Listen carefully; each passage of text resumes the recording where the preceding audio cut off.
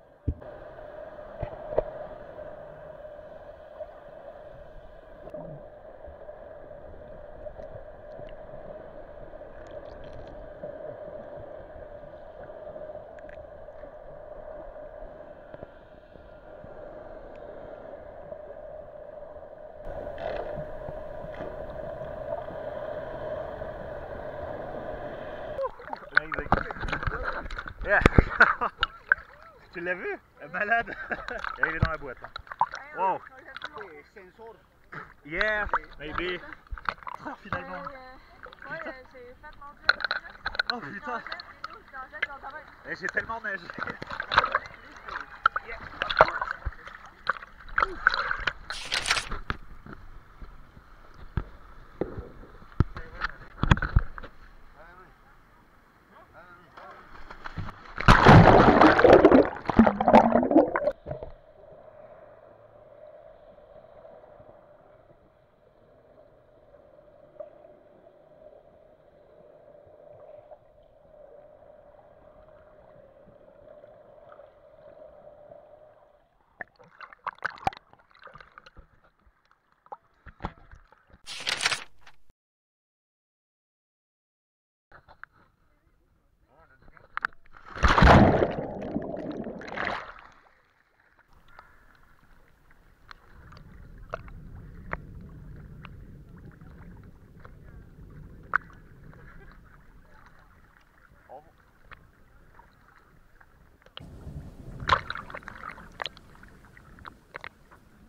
rien.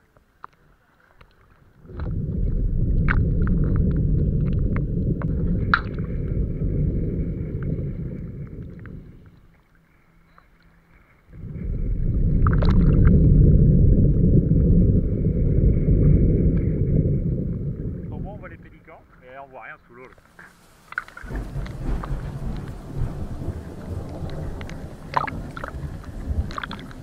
On voit vraiment que le...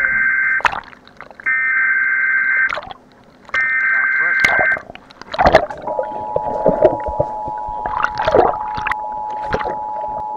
Oh, putain.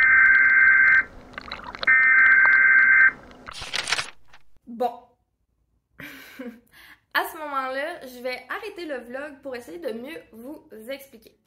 À ce moment-là, il y a une, euh, une, alarme d'urgence du bateau qui a sonné et notre capitaine nous avait expliqué parce qu'on est en danger. Youpi! Donc, quand on a entendu euh, cette alarme-là, bien sûr, moi et Bastien avons nagé comme des fous pour revenir au bateau. Et c'était pas très rassurant. Et là, j'ai plus vraiment de contenu. Pourquoi? Parce que la priorité, c'était survivre. Euh, finalement, quand la tempête euh, s'est calmée, et c'est là qu'on a pu revenir euh, sur l'île de Holbox, grâce à notre fabuleux capitaine, qu'est-ce qu'il a fait? Il s'est dit que si on revenait, on essaie de rebrousser chemin et de revenir directement sur l'île, on n'allait pas se rendre parce que c'était beaucoup trop dangereux. Donc, notre capitaine a eu la bonne idée de euh, se déplacer, d'aller encore plus au large euh, sur une toute petite île pour nous mettre en sécurité. Euh, pour l'expédition, ben, on est juste arrivé en petit maillot de bain, il faisait chaud, il faisait beau, on était en voyage, donc on n'avait pas nécessairement prévu un imperméable pour survivre. Finalement, quand la tempête a cessé, on est revenu sur le bateau et il nous a ramenés à Holbeck. Voici la partie que vous avez manquée, que ça me fait plaisir de vous expliquer.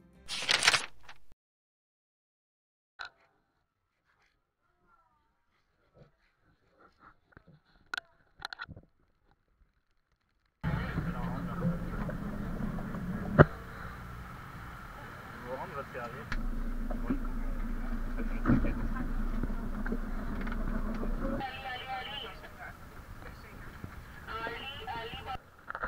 Bah, Il y en a partout en fait. Il y en a un. Regarde-le.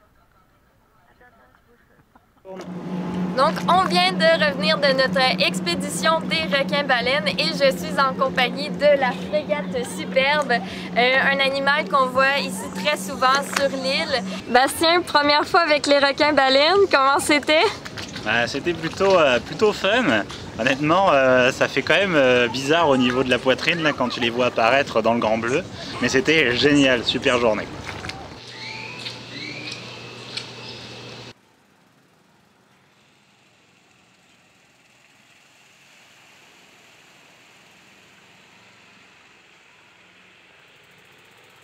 Une des premières questions se pose, c'est est-ce que ça vaut la peine?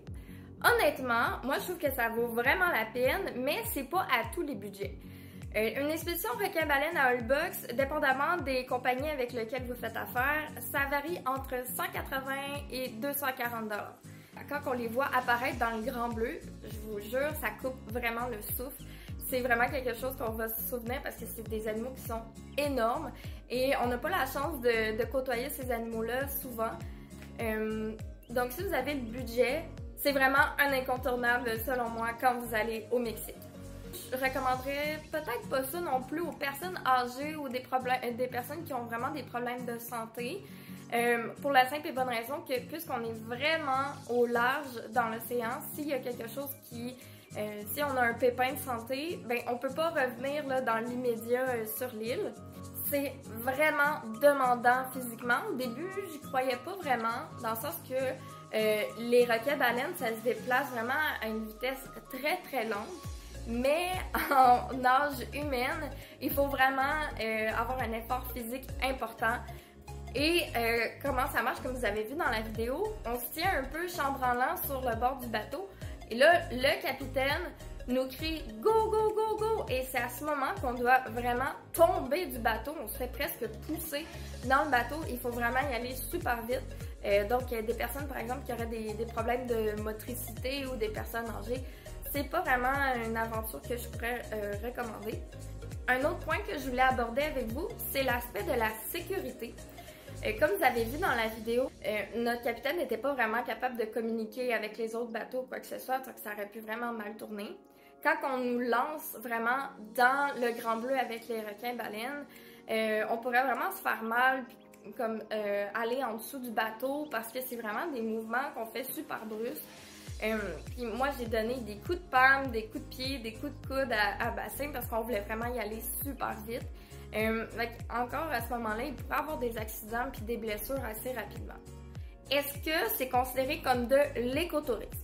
Pour moi, c'est vraiment important dès que je me déplace euh, dans un pays de, si je veux voir des animaux dans la nature, que ça soit vraiment considéré comme de l'écotourisme. Comme euh, dans mes vlogs, vous allez voir, si je vais en Asie un jour, vous allez pas me voir sur le dos d'un éléphant, c'est vraiment important pour moi euh, de respecter la nature et c'est un peu aussi le principe de ma chaîne YouTube. Donc, est-ce que c'est de l'écotourisme? Ma réponse, c'est moyen. Pourquoi? Euh, il y a quand même des efforts qui sont faits euh, pour les expéditions. Par exemple, on doit payer notre droit d'accès à la réserve naturelle, où ce qu'on peut, le, parc marin, où ce qu'on peut observer les requins baleines. Et moi, honnêtement, euh, je trouve vraiment que c'est une action qui est concrète et importante quand on fait des, expéditions ou de la plongée sous-marine dans des parcs naturels. Aussi, sur le bateau, il y a beaucoup d'indications de euh, pictogrammes euh, dans diverses langues avec des images qui doivent expliquer qu'est-ce qu'on doit faire. L'aspect négatif, je dirais, c'est que oui, on passe par un parc national protégé, mais il faut savoir qu'il y a beaucoup d'expéditions qui se font par jour, surtout dans la saison forte des requins-baleines. Et euh, il y a beaucoup de bateaux qui font des allers-retours. Comme je vous l'ai dit, c'est environ deux heures de route pour se rendre au site. Donc deux heures aller, deux heures au retour, ça fait beaucoup de temps, beaucoup d'essence, beaucoup de perturbations dans le parc national. Sachant que nous, euh, on était environ une dizaine de bateaux pense que vous comprenez le nombre d'allers-retours qui se passent dans le parc national. Donc ça, c'est pas vraiment considéré comme de l'écotourisme. C'est tout le contenu que j'avais euh, à vous offrir. C'était Chazou. Si vous avez euh, aimé ma vidéo, n'hésitez surtout pas à laisser un commentaire. Ça fait toujours plaisir. Donc, euh, on se rejoint pour une prochaine aventure sur ma chaîne.